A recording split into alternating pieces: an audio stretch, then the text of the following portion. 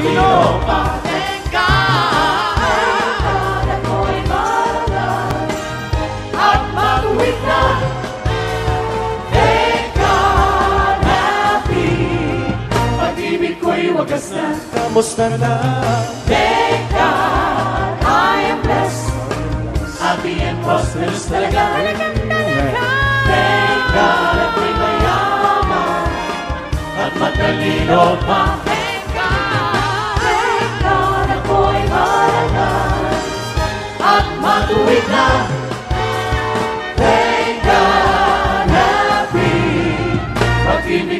Wagas na. Happy and prosperous talaga.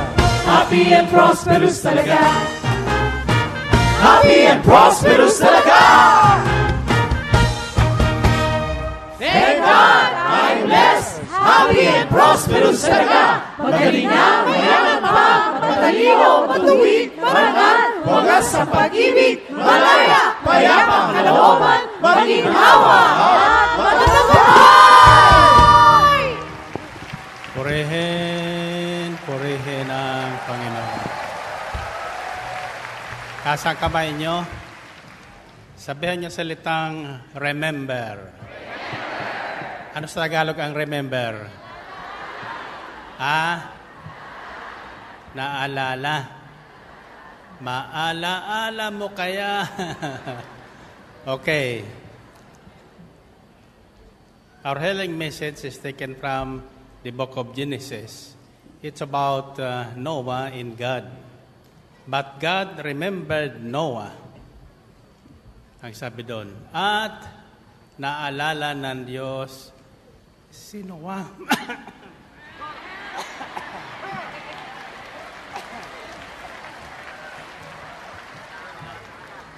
Pag nasasamid ka, anong nangyayari? May nakaalala. Siguro naalala ko nung, nung aking girlfriend. Anong number? Anong number? Two. Letter B. Uh, kasakabay nyo, But God remembered Noah. Ngunit naalala ng Diyos si Noe. Sabihin nyo, wow! What a privilege! Kapag naalala ka ng Diyos, it is really a special privilege. My question is, why did God remember Noah? Or why did God not forget Noah? Or why did Noah not disappear from God's memory? Bakit hindi nawaglit sa isipan ng Diyos si Noah? Bakit lagi siyang naalala ng Diyos? Alam niyo kung bakit? Gusto niyo malaman? Find your partner. Sabihin mo sa partner mo, ikaw ay si Noah ngayon. Ikaw ay si Noah ngayon. One plus one. Ikaw ay si Noah ngayon. Tapos sabihin mo, sabihin mo sa pangalawa, o? Ano ngayon? One plus one. Three plus three.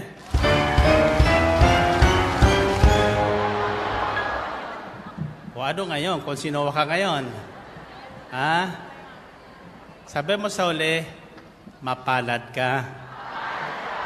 Hindi ka nalimutan ng Diyos. Ulitin nyo nga. Mapalad ka, hindi ka nalimutan Diyos. One plus one. Ikaw ay si Noah ngayon. Three plus three. Ay ano ngayon? Seven plus seven.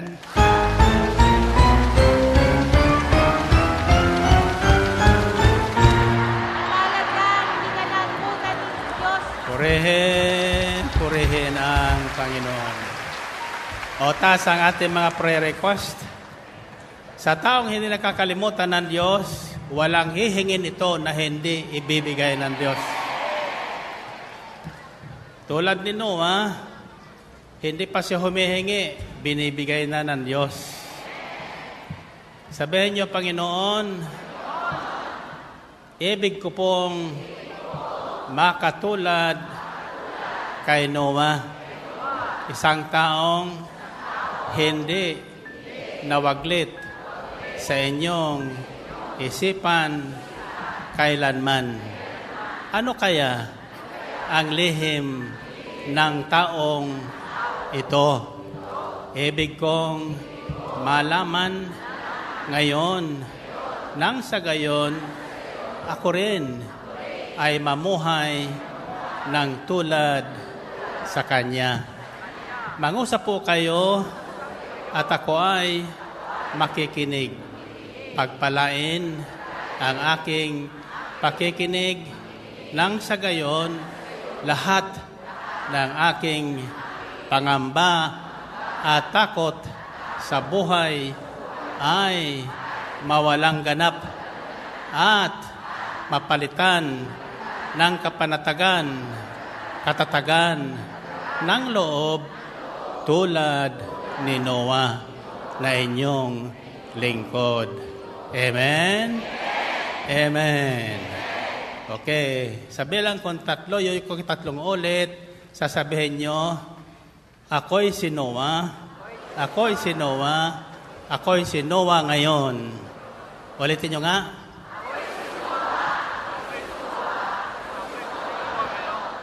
Isa, dalawa, tatlo.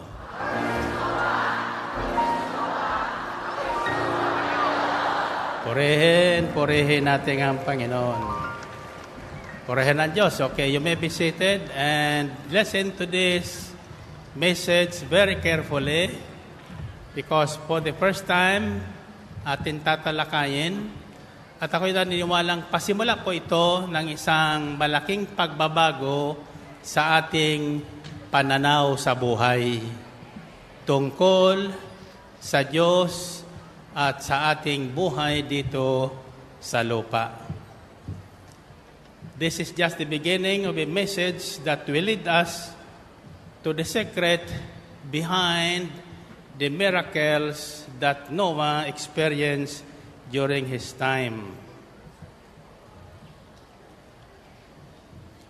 Question is, why did God remember Noah? Bakit naalala ng Diyos si Noah pagkatapos ng apat na po at apat na pong apat na pong araw at apat na pong gabi ng pag-ulan at pagkaraan noon lumipas pa ang maraming araw na ang kalupaan ay nasa ilalim ng tubig. Si, uh, si Noah naman ay naroon sa loob ng kanyang daong na ginawa, malamang sa tingin ko ay nagbibilang din ng araw at naghihintay ng himala sa kanyang buhay. Kayo ba'y naniniwala sa himala? Sabihin niyo, miracles are forever. Today, it is mine. Okay. So why did God remember Noah? Or why did God never forget Noah? The answer is found in Genesis chapter 6, verses 9 and following. It says, This is the account of Noah and his family. Noah was a righteous man, blameless among the people of his time, and he walked faithfully with God. Napakabuting tao ni Noe, siya na lamang ang natitirang matuwid ng panahong iyon.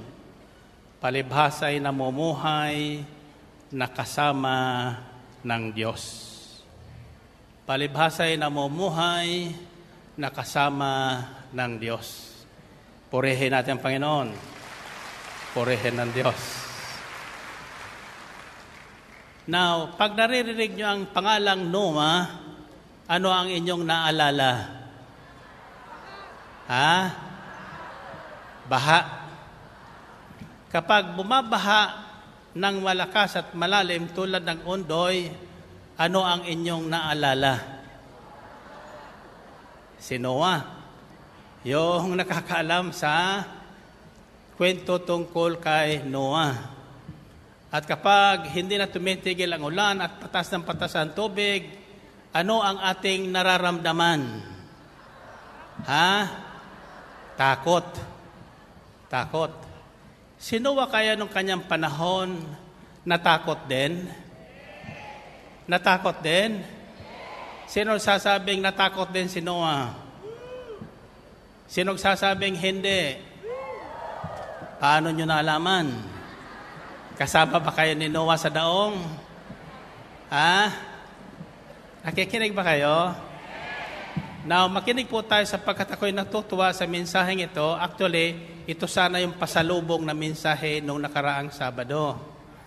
Ito po ang sumagi sa aking isipan madalas. Ako po ay nasa San Francisco pa ng ilang linggo.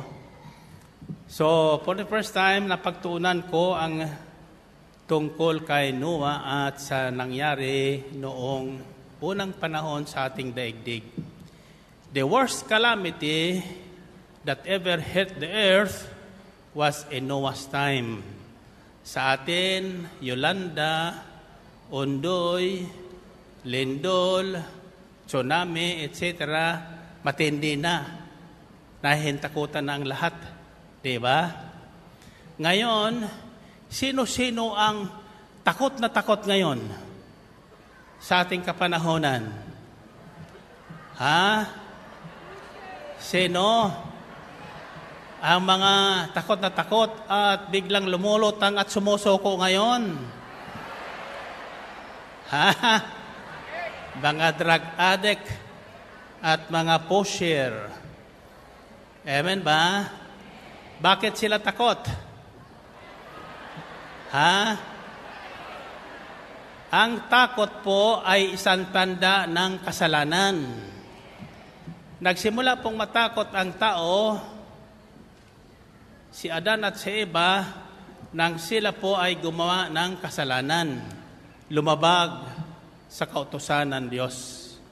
Ang sino bang taong lumalabag o nakakalimot lumalagpas o nagkukulang sa kautusan ng Diyos ay nagkakasala.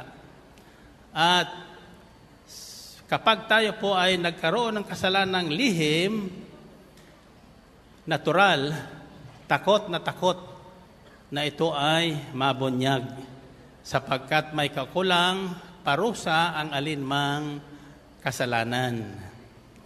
Si Noah, Ako'y naniniwalang ni minsan po ay hindi inalihan ng takot sa kanyang buhay.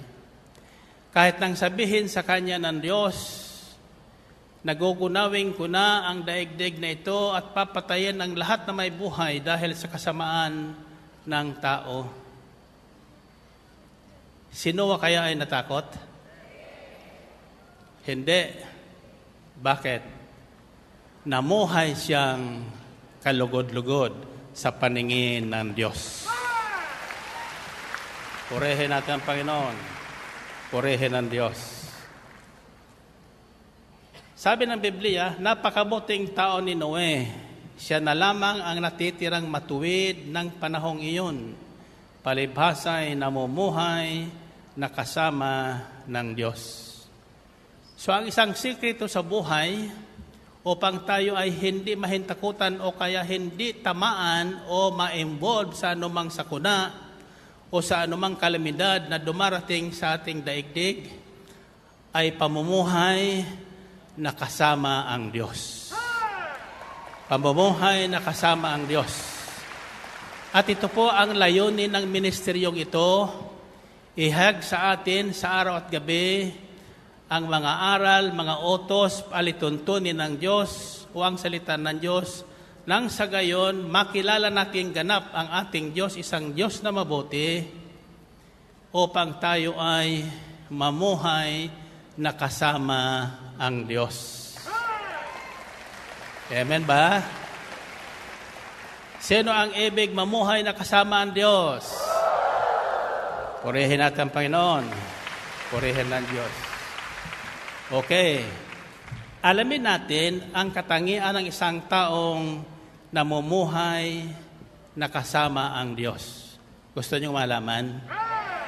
Sino nagsasabing kasama niya ang Diyos?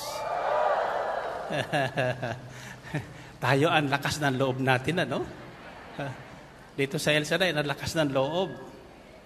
Amen agad. Pero suriin natin ngayon ang ating sarili kung tayo ay katulad nga ni Noah na namumuhay na kasama ang Diyos. First, ang unang palatandaan ng isang taong namumuhay na kasama ang Diyos ay hindi siya umaayon sa takbo o oso ng mundong ito. Narinig niyo yun? Hindi siya umaayon o kumakampi sa takbo o oso ng mundo. Kahit po anong batas ang palabasin ng mga pamahalaan na ito'y labag sa kalooban ng Diyos, ang taong namumuhay na kasama ng Diyos, hindi umaayon doon. Amen? In Genesis chapter 6, verses 5 to 12, this is the account of Noah. The Lord saw how great the wickedness of the human race had become on the earth. Sa panahon ni Noah, napagmasdan at nakita ng Diyos kung gaano katalamak ang kasalanan, mga kasalanan na ginagawa ng tao sa balat ng lupa. Hindi na sadyang nagustuhan ng Diyos. And that every inclination of the thoughts of the human heart was only evil. Wala nang iniisip o laman ng isip at puso ang tao noon, kundi ang kademonyuhan sa buhay. Only evil all the time. The Lord regretted that He had made human beings on the earth, and His heart was deeply troubled.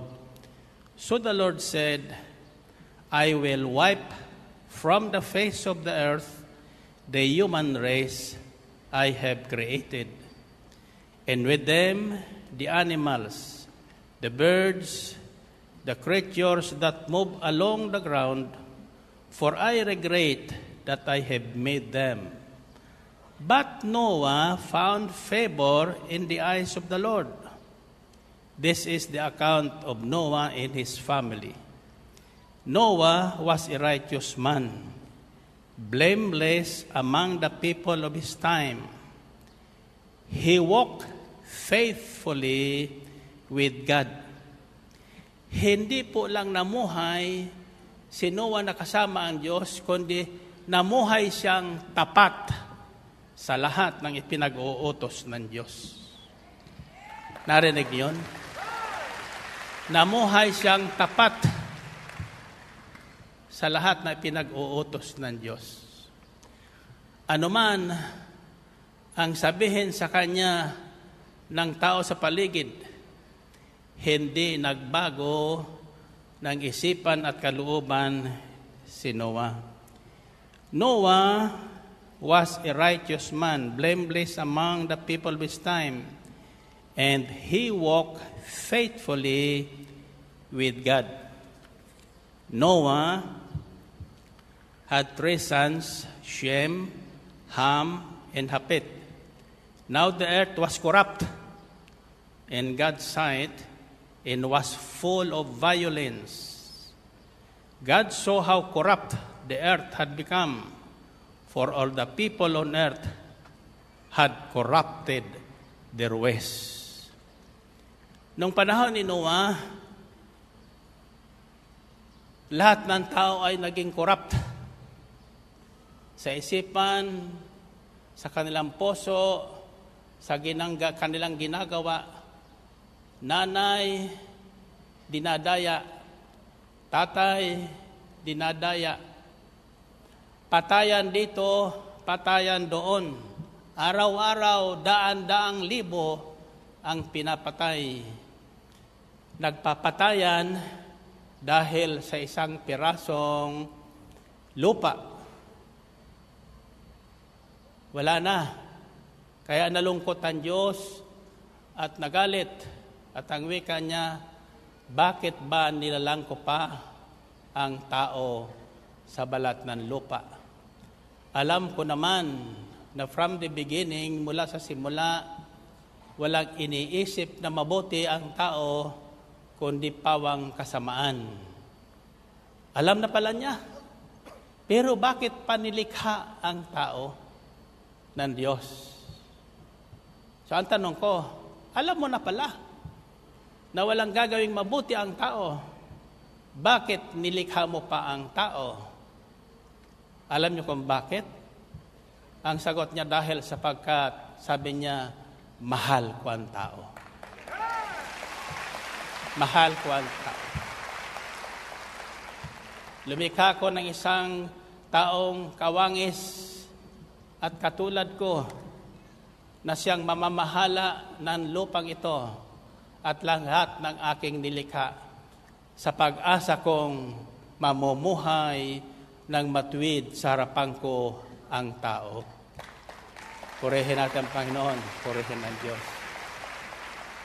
Now listen to this brothers and sisters sapagkat bago dumaan ng pahirap ang Panginoong Kristo sa kanyang mga pangaral, sa kanyang mga alagad, nasabi niya ito, sa aking pagbabalik, sa wakas ng panahon, ang mundong ito, ang taong sa mundong ito, ay muling magpapakasama-sama tulad ng panahon ni Noah.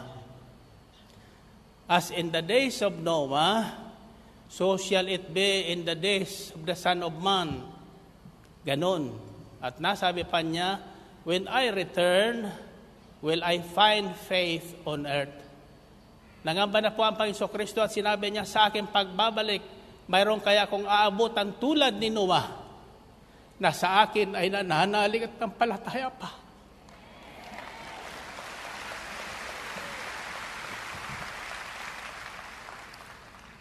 Ang tanong sa atin ay, mayroon ba? Mayroon ba? Sino? Sabihin nyo, ako, ang Noah, ngayon. Purihin natin ang Panginoon. Purihin ang Diyos. So God saw how corrupt the earth had become, for all the people on earth had been corrupted or had corrupted their ways. It's happening again. No? Bago ang buong mundo, dalawang bayan muna ang ginunaw ng Diyos. Ang Sodom at Gomorrah. Alam niyo kung saan galing ang salitang Sodom? Iyan po ay galing sa salitang Sodomy. Sa bayang yon, lalaki sa lalaki ang nagkakasal at nagtatalik. Wala na. Ubos na sila doon. Ganun na ang kanilang kanilalagyan. Sa bayan naman ng Gomora, ah, babae sa babae. At ngayon ang ating daigdig, kung ating pagmamasdan at kung hindi po tayo magiging alerto, unti-unti na po ang bawat bansa na yumayakap sa tinatawag na same-sex marriage. At dito sa ating bansa, hindi magtatagal, papasa sa ating lehislatura ang same-sex marriage din. Kung paanong nailusot na ang tinatawag na pinagtalunan noon na ano yun? R.H. Bell. Ah. Unti-unti po yan. Noong ang kasamaan po sa Sodom at Gomora, nagdesisyon din ng Diyos, hindi na pwedeng lumaganap ito sa mundo. Kailangan pawiin ko na sa balat ng lupa ang dalawang bayang ito. Subalit naalala niya isang tao at the time. Sino yon? Teka muna, hindi sinuma yun. Ha? Naalala ng Diyos si Abraham sa panahon nung Sodom at Gomora. No? So ang sabi niya, hindi ko maaring gawin ito na hindi ko pinapaalam kay Abraham. Ang isang taong namumuhay ayon sa kalooban ng Diyos faithfully, anumang balakin ng Diyos na magiging mas, maka, makasasama sa Kanya at sa tao, hindi niya makakalimutan ng taong ito. Gagawa at gagawa siya ng paraan na maligtas at mailigtas ang taong namumuhay ng ayon sa kalooban ng Diyos. Hindi ka makakalimutan ng Diyos. Hindi tayo pababayaan ng Diyos. Amen ba? Isigaw niyo ang salitang faithfully. Ulitin niyo. Ano sa Tagalog ang faithfully? Buong katapatan. Ang sabi ng Diyos, aking ililigtas ang tapat sa akin. At iingatan ko ang sino mang taong ako'y kikilanlin. Pag sila'y tumawag, laging handa ko na sila'y pakinggan. Aking sasamahan at kung may hilahil, ay sasakluluhan. Aking ililigtas ano pa? At pararangalan. Sila'y bibigyan ko at gagantimpalaan ng lakasan nyo. Sino ang gustong humaba ang buhay? Purihin natin ang Panginoon. Purihin ang Diyos. So ang paghaba ng buhay natin sa balat ng lupa ay isang gantimpala ng Diyos. It is a reward of God for those who are faithful to His laws and commands. Sa taong tapat at nanatiling tapat kailanman sa lahat ng kay pinag-uutos ng Diyos, gagantimpalaan siya ng Diyos ng mahabang buhay at nakatitiyak na ang tatumihin ay kaligtasan. Purihin natin ang Panginoon. Purihin ng Diyos. Malinaw ho ba? Gusto niyo muna ng kwento? May isa ko nabasang kwento. Hindi ko original ito. Ah, may isang papa na matuwid na namatay kasabay ng isang well-known evangelist sa Amerika. Nagkita-kita sa doon sa langit at magkita sila doon, may dumating din na isang politiko. Isang politiko. Pagkatapos yung politiko, itinuro ni San Pedro doon sa isang mansyon na magara na magarang mansyon. Samantalang yung papa at yung evangelist ay nasa bahay kubo lang. So ang sabi nung dalawa, eh bakit yung politikong yon? Mansion na binigay mo San Pedro. Sabi niya, wag na kayo magreklamo. Nag-iisang politiko yan dito sa langit. Purihin natin ang Panginoon. Purihin ang Diyos. Hallelujah. Kaya ayaw ko nang maging politiko. so, anong unang katangian ni Noah? Ha? He walked faithfully with God all the days of his life, though violence and every man at on his, during his time has been corrupted. Second, wala siyang pinakikinggan at pinaniniwalaan at sinusunod, kundi ang salita ng Diyos. Narinig niyon? Tasa kamay niyo.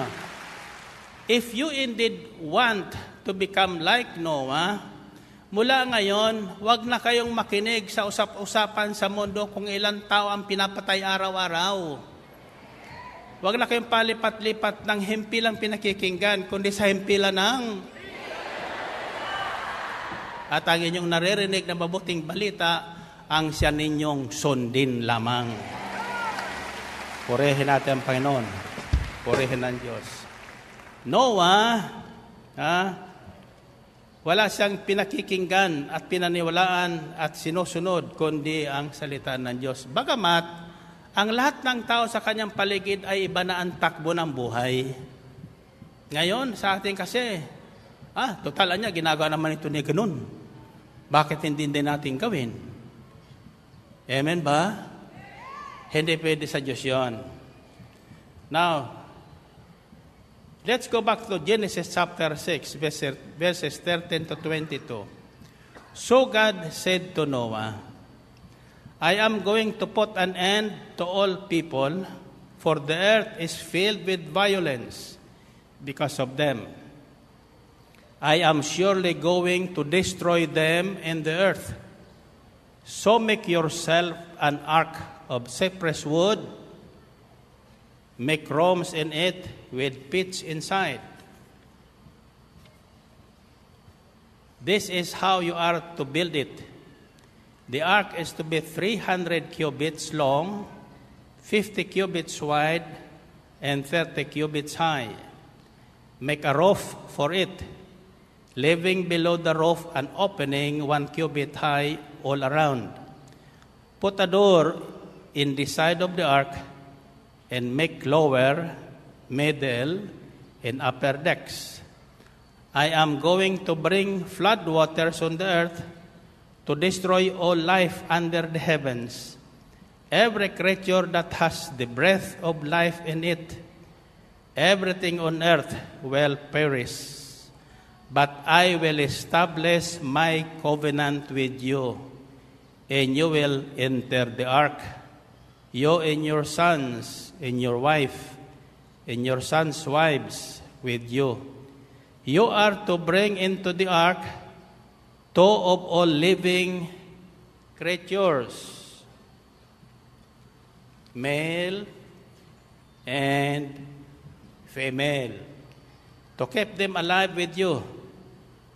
Two of every kind of bird, of every kind of animal, in every, every kind of creature that moves along the ground will come to you to be kept alive. You are to take every kind of food that is to be eaten and store it away as food for you and for them. Look at the next verse. It says, God did everything just as God commanded him. At ginawa ni Noe ang lahat ng iniutos sa kanya ng Diyos. Purihin natin ang Panginoon. Purihin ng Diyos. Wala kang marinig kinuha na reklamo laban sa utos ng Diyos. Hindi sinabi ni Noah, ha? Napakalaki naman ang daong na yan. Paano ko gagawin yan? No? Ang laki ng daong ay equivalent to three, three floors, three stories ng isang, ng isang building. Yung height noon. Mahaba. Siguro kasi laki nitong ating house of prayer. O baka mas malaki pa rito. Pagkatapos, tinuro sa kanya ang kulay. Kung anong gagawin, ilang palapag, may bintana. Pagkatapos, sinabi sa kanya, Isasama mo sa daong pares-pares lahat na ori ng ibon, ng hayop. Every living creature, pares-pares, babae at lalaki. Hindi sinabi ng Diyos na pares-pares na babae, pares-pares na lalaki. Bakit? Sapagkat preserba ng Diyos ah, ang lahing yun para sa susunod na henerasyon sa pag-asa niyang ito ay mamumuhay na ng ayon sa kanyang kalooban tulad ni Noah. We all came from Noah. Ang ating henerasyon ngayon ay galing po sa lahi ni Noah. Kaya hindi po nagkamali ang Espiritu Santo at hindi nagkakamali siya nang sabihin sa akin ngayong gabi, sabihin mo sa kanila, sila si Noah ngayon. Kayo si Noah ngayon. Lahat na nakikinig ng mensaheng ito, mga kapatid, saan man kayo naroroon, sa bawat sulok ng daigdig, hindi kayo nakakalimutan ng Diyos. Lahat na ginising ng Diyos sa gawain ito, sa pamagitan ng gawain ito, ginising sa kanilang masamang pamumuhay at nagsikap na mapamuhay ng kasama ang Diyos sa panahon ng kagipitan, sa panahon ng kalimidad, sa panahon ng kawalan, hindi tayo malilimutan ng Diyos.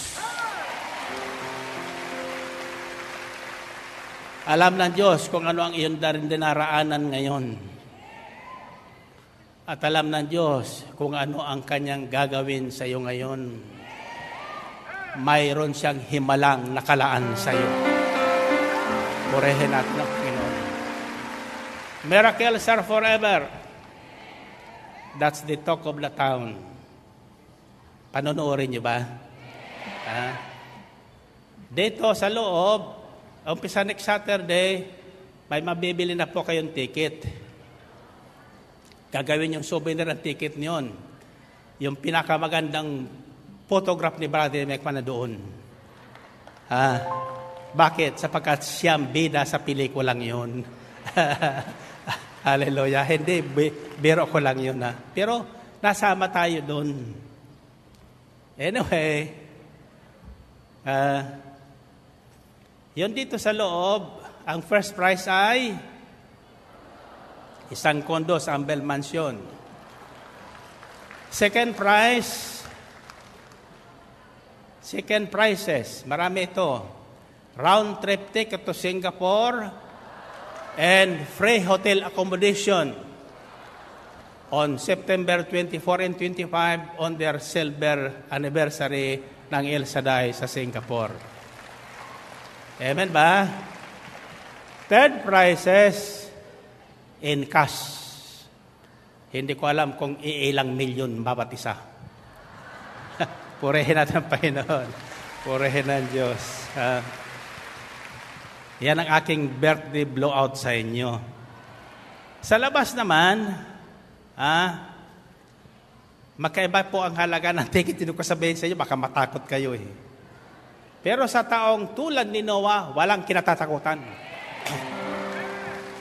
Kahit anong halaga, kayang-kaya niya bayaran. Sapagkat our God is a providing God. Amen ba? This is the first step of a new kind of evangelization. Ang ating iglesia hindi po napupuna ang effectiveness ng media sa pagbabagong buhay ng tao at sa pagpapalaganap ng mabuting balita. Lalo na po ang cinema sa sine. But these miracles are forever is a series of miracles na nangyayari po sa bawat tao sa gawaing ito. Ito po ay mga true story ang kilos ng Diyos sa bawat taong namumuhay ng ayon sa kanyang kalooban. Amen? So out of this, lahat na manonood ng Miracles of Forever na isa sa pelikula natin all over the world, paghihimalaan ng Diyos. Paghihimalaan ng Diyos. Haniwala kayo?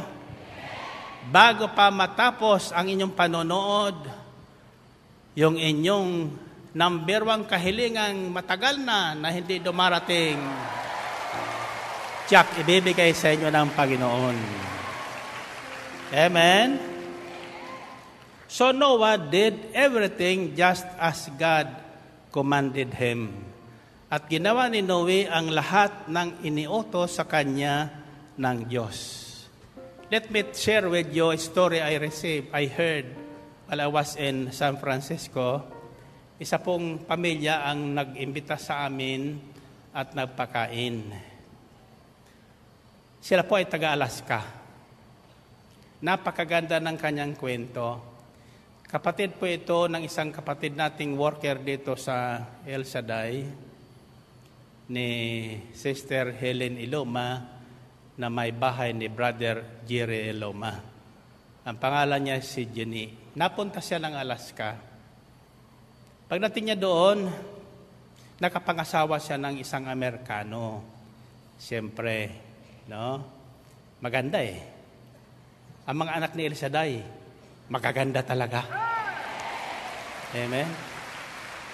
Kahit sanda ko mo dalhin yan, they are like stars shining. Ah, lumulutang ang katangian nila.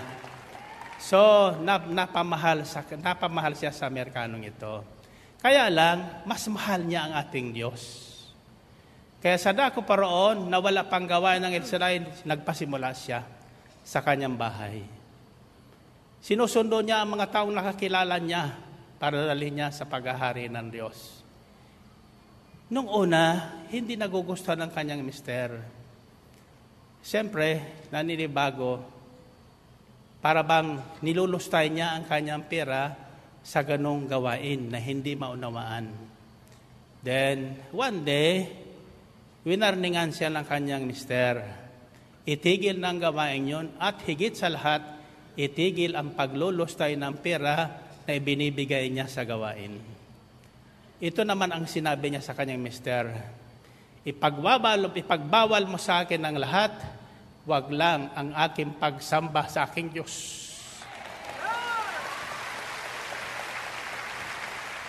Kung ibig mong tayo ay magtagal, ang sabi niya, ipagbawal mo ng lahat, wag lang ang aking pag-aalay sa aking Diyos at aking pagsamba sa Kanya. Kung hindi, hihiwalayan kita. Tapang ano? Eh, siyempre, mahal siguro siya nung ano, master niya, sumama na rin sa kanya. Sumama rin sa kanya. Anyway, sa kalaunan, ang wika niya sa akin, hindi man mayaman yung aking napangasawa, Brother Mike. In fact, yung unang anak namin panganay, hirap kami sa pambili ng kanyang gatas. Pero hindi ko minsan binawasan ang aking ikapo.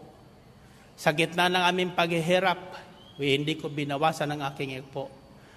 Hanggang sa winar niya ko ng aking mister at sinabi ko sa kanya, kung ito ang ating pagtatalunan, maghiwalay na tayo.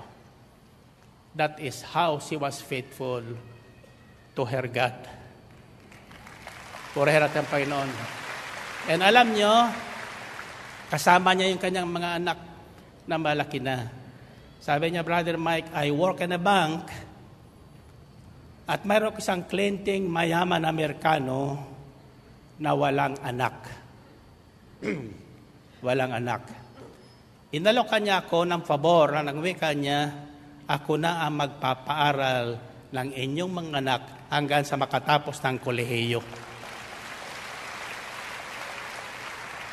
Sapagkat siya po ay empleyado ng bangko at bawal tumanggap ng pabor sa mga kliyente ng bangko, hindi niya tinanggap ang alok na yon.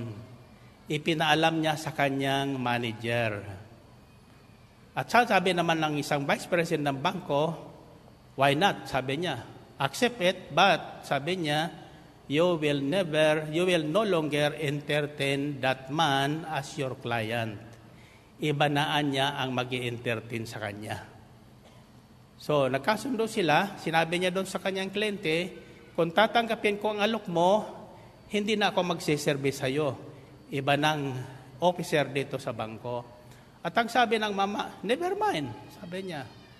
Basta gusto kong makatulong, ako ang magpaparal ng mga anak mo. Purihin natin ang Panginoon. Purihin ng Diyos. At dalawa pong anak niya, the eldest and the second, this year o last year, nakapagtapos na ng kolehiyo at may mga trabaho na rin. Amen? At inaalok nga siya na mag-retire na sa bangko at siya lang mamahala ng kayamanan ng mamang ito. Ang sabi ko sa kanya, Jenny, iyan ang kayamanan hindi pinaghirapan. Ibibigay sa ng iyon Diyos na pinaglilingkuran mo ng tapat.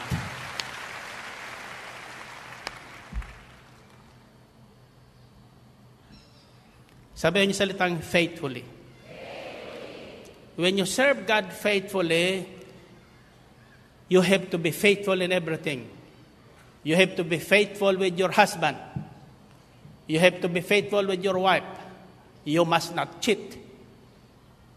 You have to be faithful with your service. If you are an employee, you should never cheat a single minute from your time. Hindi ka pwedeng pumasok ng alas 9 na alas 8 ang pasok mo. When we say faithfully, tapat tayo sa lahat ng bagay. Kung ikaw ay lingkod ng Panginoon sa gawain ito, maging tapat ka. Lalo na kayong pinagkakatiwalan sa paghawak ng pera ng ministeryong ito. Iyan po ay pera ng Panginoon sa kadalakila ng kanyang paghahari dito sa atin sa lupa upang tayong lahat ay matulad sa buhay ni Noah. Purihin natin ang Panginoon, purihin ang Diyos. Sabay niya salitang faithfully. We have never faithful. Wala sa ating ganun. But don't worry. Sabi sa Ecclesiastes, Kabanatan 3, talatang 11, nasumpungan ko po ito. It says, But God has made everything beautiful in its time. God has made. Naintindihan niyo sa has made? Ginawa na ng Diyos na maganda at maayos ng lahat ng bagay sa kanya-kanyang takdang panahon. Sa kanya-kanyang takdang panahon. Hindi man tayo naging maayos sa ating buhay noong unang panahon, lingid sa ating kalaman, kaya tayo tinawag ng Diyos sa gawain ito sapagkat inayos na ng Diyos ang buhay natin noong pamanguna.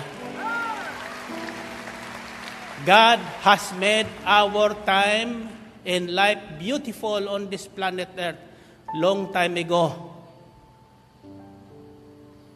Not His time, but according to the time He has set. Tulad ni Noah, ah, lingid sa kaalaman ni Noah, na darating at darating, nalilipulin ng Diyos ang lahat na may buhay sa balat ng lupa dahil sa kasamaan ng tao. Subalit, God has prepared Noah for that so that the human race will be preserved. Kaya si Noah, ano man nangyari sa kanyang kapanahonan, hindi po natukso na umayon sa takbo ng mundo niya noon. Narinig niyo ba yon? Why? Because God has made it so. Ginawa na ng Diyos. Kayong awit natin narinig in His time, dapat yon in its time, ayon sa panahon na itinakda ng Diyos. Itinakda na ng Diyos na ikaw ay buhayin. Itinakda na ng Diyos na ikaw ay pagyamanin kahit 80 anyos ka na. Itinakda na ng Diyos na ikaw ay mamuhay ng maayos. Nang ikaw ay mangumpisal, ipinahayag mo ang lahat ng iyong kasalanang nagawa mo lang pagkabata at ipinanalangin ka noong pare na kinumpisalan mo, nang sandaling yon, naging nuwa ka sa harapan ng Diyos. Purihin natin ang Panginoon. Purihin ang Diyos. That's why if you want to become Noah, you better go to a big and make a very good and honest confession and start a new life. Third, sa gitna ng kalamidad, panatag at tahimik si Noah. Naniwala siya na hindi siya malilimutan at pababayaan ng kanyang Diyos. Sa gitna ng kalamidad, you can just imagine, pagpasok na pagpasok ni Noah, and by the way, hindi ko alam at hindi nabasa-basa sabi sa Biblia kung ang kanyang mga anak at kanyang asawa ay namuhay ng matuwid. Hindi na kailangan sapagkat sa sandali na ang ama ng tahanan ay namuhay ng matuwid at naging kalugod-lugod sa Diyos, kasamang ililigtas ang buong niyang sambahayan. Kaya sinabi ng Diyos kay Noma, isasama mo ang iyong asawa ang mga anak at asawa ng inyong mga anak at ang inyong makawang tupa at mga ibon, pares-pares. So, nangyari ang sinabi ng Diyos. In Genesis chapter 7, verses 17 to 24, you listen to this. For 40 days, the flood kept coming on the earth. And as the waters increased, they lifted the ark high above the earth. The waters rose and increased greatly on the earth, and the ark floated on the surface of the water. They rose greatly on the earth, and all the high mountains under the entire world were covered. The waters rose and covered the mountains to a depth of more than 15 cubits. Every living thing that moved on land perished birds, livestock, wild animals, all the creatures that swarm over the earth, and all mankind. Everything on dry ground that had the breath of life in its nostrils died. Every living thing in the face of the earth was wiped out from the face of the earth. Only Noah was left, and those with him the ark. The waters flooded the earth for a hundred and fifty days. Naalala niyo yun? Akala natin 40 days and 40 nights lang. 40 days and 40 nights, yung ulan na walang patlang. At maliban sa ulan, nabuksan ang mga bukal ng lupa. Kaya galing sa itaas, galing sa ilalim, ang lumalabas na tubig hanggang sa natabunan ang buong daigdig. Ang pinakamataas na bundok at pinakamataas na kahoy natabunan ng tubig. Walang naiwang may buhay. For 150 days, may baha. Hindi humuho pa ang tubig. May, may, may mabubuhay pa ba noon? Wala, ilang oras lang sa ngayon, lunod na lahat. Ba? So 150 days, hindi humupa ang tubig. Why? Because God saw to it that every living creature, all human beings except Noah and his family, died. Tiniyak ng Diyos na lahat na masama mawala na sa balat ng lupa. Ano sa tingin nyo ang kalagayan ni Noah sa loob ng daong? Wala siyang makitang paligid sapagkat sarado. Hindi niya pwedeng buksan ang bintana pinagawa sa kanya ng Diyos. Maliban, sabihin ng Diyos sa kanya. That was how obedient Noah was. Pero wala akong nasumpungan sa Bibliyang nahintakutan si Noah o nawala ng pag-asa si Noah. Panatag, tahimik.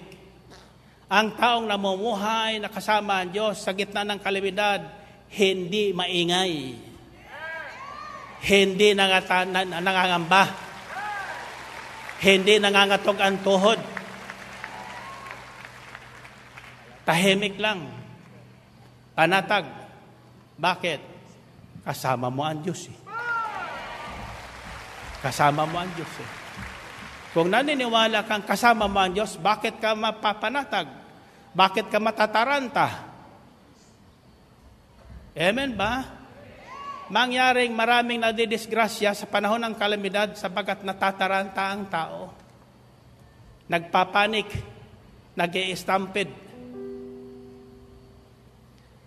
Kaya lalo silang nadidisgrasya. Sa taong namumuhay ng matwid sa harapan ng Diyos, faithfully obeying God's laws, isinasabuhay ang lahat na aral at utos ng Diyos, wala kang dapat ikatakot. Bakit? May taglay kang divine protection na galing sa Diyos. Noah's divine protection was there in the ark. So bumalik ang tao in the beginning na ang kasama nila mga ibon at mga hayop sa isang lugar. That was Adam's life and Eve in the beginning. Sa kanyang paligid ay mga ibon, mga hayop, mayroon pang mababangis na hayop. Subalit hindi sila nahintakutan, hindi sila kinapitan ng sakit sapagkat mayroon silang divine protection na kaloob ng Diyos. Amen ba? Purihin natin ang Panginoon. Purihin ng Diyos. And then, and then after 150 days, a miracle started to happen. Once God remembers you, your miracle is coming. Amen ba? As we go further to Genesis chapter 8, verses 1 to 5, this is the good news. But God remembered Noah and all the wild animals and the livestock that were with him in the ark. And he sent a wind over the earth, and the waters receded. Now the springs of the deep and the floodgates of the heavens had been closed, and the rain had stopped falling from the sky. The water receded steadily from the earth. At the end of the hundred and fifty days, the water had gone down, and on the seventeenth day of the seventh month, the ark came to rest on the mountains of Ararat. The waters continued to recede until the tenth month, and on the first day of the tenth month, the tops of the mountains became visible. Hallelujah! Inabot pala ng sampung buwan. Ha? Sampung buwan nakakulong si Noah doon at sa kanyang pamilya sa daong nawala silang makita na paligid, kundi ang walls ng daong at sa takip ni hindi nila makita ang langit sapagkat pinatakpan ng Diyos yun. Pinasarhan ng Diyos. Bakit pinasarhan ng Diyos ang itaas at paligid ni Noah doon sa daong? Alam niyo kung bakit? To protect Noah against fear para hindi abutin ng takot si Noah. Kasi kung makikita niya ang kapal ng ulan na pumapatak, at kung makikita niya ang paligid na wala na siyang nakikitang bundok, malamang nahintakutan din si Noah. You see? It is not because we, we do not want to be afraid. We certainly will become afraid. But God will make a way so that you will not be afraid.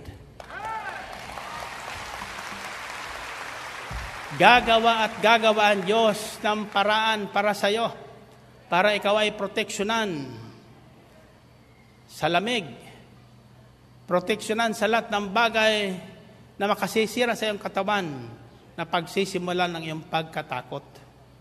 Sapagkat ang takot ang pinagsisimulan ng lahat ng karamdaman ng tao na humahantong sa kamatayan.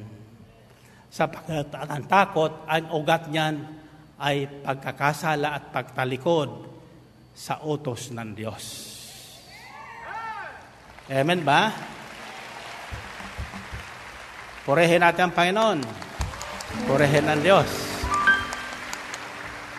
Are you following the story? As I said earlier, this is a long story. And I hope before my birthday on August 20, lahat tayo ay lahi na ni Noah. Masasabay natin sa ating sarili, ako nga ay si Noah sa kapanahonan ngayon. Sabihin nyo nga. And finally,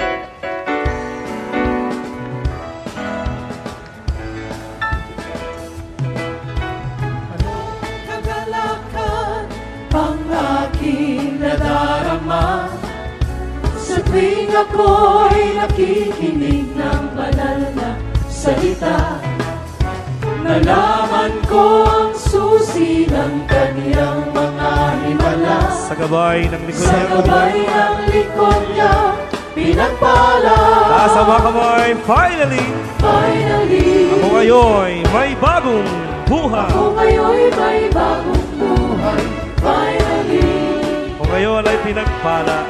Ako ngayon ay pinagpala Finally Ako ngayon ay tagumpay. Ako ngayon ay tagumpay Finally Sabay-sabay Finally ang buhay ko ngayon. Ang buhay ko ngayon Sisiklig-lig ng biyaya Kung may pagsubok Kung ba, may pagsubok man Ay hindi alintana ako'y punong-puno. Ako'y punong-puno ng pag-asa at kalakasan Sa pagtahak sa landas ng kabanalan Buong katakata sa mga kamay. Finally, Finally, ako ngayon ay malaya na. ako ngayon'y malaya na Finally, Sumigaw ang lahat ng mayaman. Lumundag ang magaling na. ako ngayon ay magaling na Finally, Sabay-sabay. Yes! Finally, And finally, finally ako ngayon may bagong buhay. Ako ngayon'y may bagong buhay Finally Ako ngayon ay pinagpala. Ako ngayon ay pinagpala Finally Sumigaw mga tagumpay. Ako ngayon ay tagumpay Finally Sabay-sabay. Finally And finally, Finally Yes! Finally finally, Finally saluhin ang biyaya. Yes!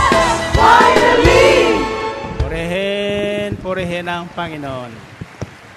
Finally, dito tayo magtitigil ngayon. Ha? One of the secrets of miracles is the word. Sino makakahula? Ang unang sekreto, pangunahang sekreto ng mga himala sa buhay natin na ginagawa at gagawin ng Diyos ay spelled in four letters. Ano? Ha? Sino nagsasabing love? Mali. Mali. Ha? Sino hula? Sino nagsasabing hope? Sino nagsasabing hope? Sino nagsasabing hope? Iyan ang tama. Purahin natin ang Panginoon. Purahin ang Diyos. Noah's hope for an end to the calamity never withered, wavered. He believed God will never allow that they will suffer seclusion forever inside the ark. Probably at the time, 10 months have passed, their food supply was running out. After 10 months ba naman, malamang yung hinanda nilang pagkain doon sa daong ay ubos na rin. No? Pero hindi po nawalan ng pag-asa si Noah na siya ay babalikan ng Diyos. Naniwala siya na hindi siya pababayaan ng Diyos na mabulok doon sa loob ng daong. Narinig niyo yun? Gusto niyong malaman kung saan ko kinuha ang ang ah, katotohanan ito? Gusto niyo? Sa susunod na Sabado. Sa susunod na Sabado, kung babalik kayo. Ha? What hope does to a man? Ano ang nagagawa ng pag-asa sa isang taong nasa gitna ng kawalan, sa isang taong hinatulan na ng doktor na ilang buwan na lang nabubuhay, sa isang taong wala nang makukunan sa susunod na kanyang isasaing, sa isang taong hindi na naalala ng kanyang mister o kanyang anak, huwag kang mawawala ng pag-asa. Wala kang mawawala ng pag-asa. Huwag kang umasa sa tao, umasa ka kay Yahweh El Shaddai. Amen. At ang taong namumuhay ng tapat sa salita ng Diyos, makakaasa sa Diyos. Amen? Okay. Tinasa ba natin ating prayer request? Nataas na? Nakapanalangin na tayo? Okay. Taas ang kamay nyo. Taas ang kamay nyo. Sabihin nyo, Panginoon, ako po ay umaasa na bago dumating ang susunod na gawain sa araw ng Sabado, darating na. Darating na ang aking inaasahan. Amen ba? Okay, find your partner. Find your partner. Next Saturday, don't miss this series. Ah, this will change your life forever. Sabihin mo sa partner mo, Noah. One plus one. Tapos sabihin mo, pangalawa, huwag kang mawawala ng pag-asa. One plus one. Three plus three.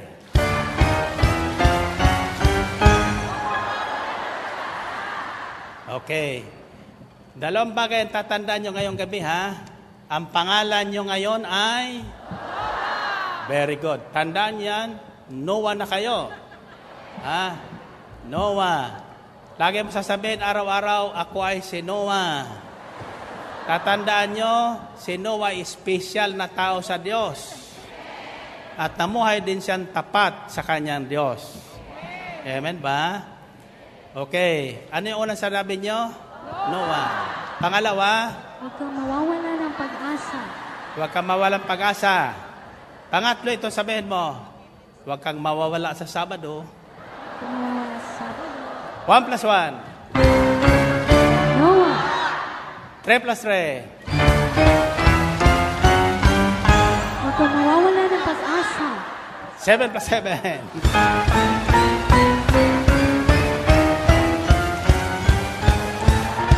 Huwag kang mawawala sa Sabado. Ito sa kamay, ito sa kamay. Sa kamay. Pagtapong ko sa inyo, itong isisigaw nyo. Himala na ginawa kay Noah, akin na ngayon. Ulitin nyo nga. Himala na ginawa kay Noah. Akin na yun!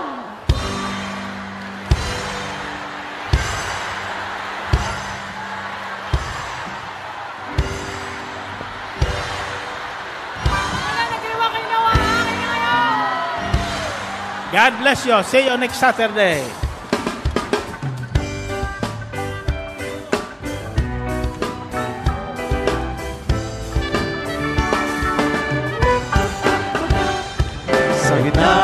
Ng kawalan, di ako mawawalan Sapagkat siyang siya na aking kagapay Sa gitna ng kawalan, di ako mawawalan Sapagkat siyang siya na aking kagapay Sa gitna ng kawalan, di ako mawawalan Sapagkat siyang siya na aking kagapay Sa gitna ng kawalan Di ako mawawalan Sapagkat siyang siya na aking kagapay Ang Panginoon ang aking pastor Pinagiginawa ako ng lubusan. Ako'y hinihimlay sa mainang na pastulan Hatid sa buhay ko ay kapayapaan. Sa gitna ng kawalan Di ako mawawalan Sapagkat siyang siyagay Ang aming kagapay. Sa ng kawalan Di ako mawawalan Sapagkat siyang siyagay Ang aming kagapay. Madilim na ng takma ang kakahakit ko Wala akong sinang siya'y kasama ko. Ang hawak niyang tungkol ang siyang naway ko. Tangay ang pamalo pagbulan ko. Ikarang kawalan, di ako mawawalan. Sapagkat siya siya ay gagawin Sa waona, pia kama waona, sepakat siel Shaddai, amalika Gapa.